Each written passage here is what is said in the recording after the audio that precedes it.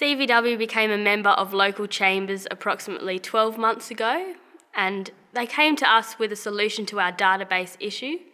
So we decided to take them on uh, with their service offering, and since then we've been really happy with their service, and we look forward to using them for many years to come into the future.